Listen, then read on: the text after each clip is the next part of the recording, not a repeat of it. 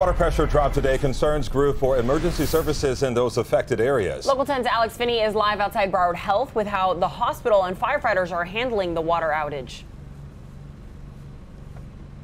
All right, well, Calvin and Nicole did just finish not too long ago speaking with a few more nursing homes in the area just to get an idea from them how they're dealing with all of this. They said right now it is still business as usual, but of course they are monitoring the situation closely, as are many hospitals in the area as well. And when we talk about the fire stations and how they are able to handle any possible emergencies that may arise over the next day or so, they have those water tankers that are in rotation, of course, with help from other surrounding agencies agencies as well.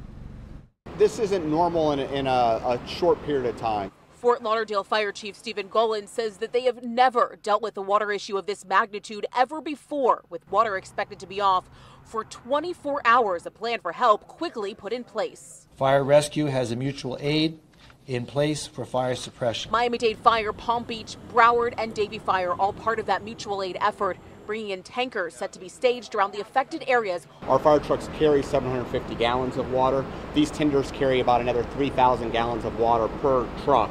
So we're able to put a substantial amount of water on scene if needed in the time. With a last resort being drafting water from canals. Chief Gollan says the department has enough water as well as backups in place to handle any emergency situation. But the situation of having no water still very serious for over 200,000 people. Broward Health Medical Center saying at this time operations continue uninterrupted. Several nursing homes in the affected areas echoing that same statement as many tell me they remain in constant communication with the city. We've conducted a rapid assessment of critical facilities such as nursing homes and hospitals. They are reporting no issues at this time, but we are on standby to take action as necessary.